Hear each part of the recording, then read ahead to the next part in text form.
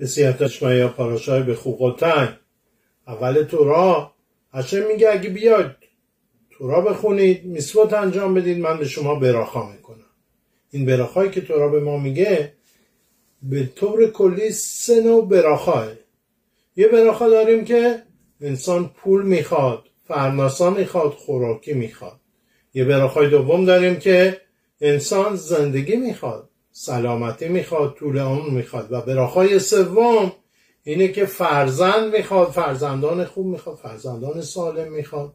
و این سه تا براخا اینجا در تورا گفته شده. اول تورا میام میگه ونتت گیشمخم به ایتا من به شما بارون میدم و خوراک میدم و خیلی زیاد خواهیم داشت. و بعدش براخای دوم اینه که که انسان زندگی می‌خواد. تورا میگه ونتتی شلوم با آرس. من صلح و صفا میدم. جنگ نباشه. نیان دشمنا شما رو نکشن و خوب زندگی کنید و براخای آخر اینه که میگه او پانیتی علیخم و افرتی من به شما رو میارم و شما رو زیاد می‌کنم. به شما فرزندان خوب میدم. و انسان این ستا براخا گیرش میاد. و موقعی که این ستا براخا گیرش میاد خب انسان دیگه چیه؟ سعادتمند خوشحال ثروتمند همه چی داره. ولی این تمام نشد.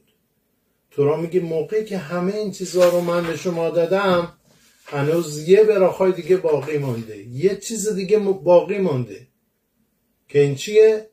میگه وی تلختی به تخخم و ایتی لخم للوکیم. میگه تمام اینا که من به شما میدم واسه چیه؟ که من تو شما باشم و من خدای شما باشم. شما همیشه من رو به خدایی به یاد بیارید. و نتتی میشکانی به تو من مسکن بگیرم تو شما. به تمیقداش باشه میشکان باشه کنیسا باشه. و همیشه وی تلختی به طور مداوم. یه تلختی به تو خم خدا بین ما باشه و همچنین و ایتی لخم للاکیم شما برای خودتون من رو قبول کنید به خدای. همیشه بدون باشید که خدا وجود داره.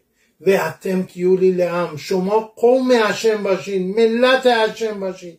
در هر موقعی در هر موقعیتی که انسان قرار می‌گیره حالا موقع سختیه موقع که فقر موقع گرسنگی موقعی که امدان انسان به حالت نیسایان اومده یه سراره اومده گول آدم بزنه اون موقع همون موقع یادت باشه خدا وجود داره یعنی این سه تا براخا که به تو گفتم اینا مقصد نیستن اینا فقط یه چی واسطه هستن که برسی به چی؟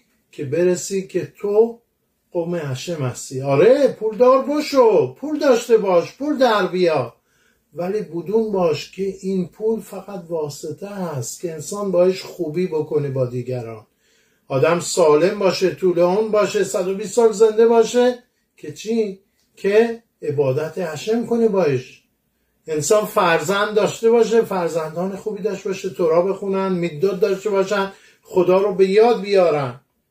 تمام اینا واسطه است خیلی وقتا هست انسان ها دیگه اینطوریه. ویشمن یشورون ویوات. میگه اسرائیل ها چاق شدن ثروتمند شدن ویواد لگت زدن به همه چی رفتن. تو تورا میگه. چرا؟ چون موقعی که انسان براخا گیرش میاد موقعی که انسان ثروتمند میشه موقعی که انسان فرزند خوب داره موقعی که آدم هیچ دل و غمی نداره همه چی خوب میره پیش دیگه یادش میره. اون که فقیره صبح تا شب تعلیم می‌کنه دعا می‌کنه خدا به ما پول بده. اون که فرزند می‌خواد تورا می‌خونه چی می‌کنه اون که خاص و مریضه. اون کسی که همه چی داره یادش میره. میگه تو یادت باشه که من خدای تو هستم.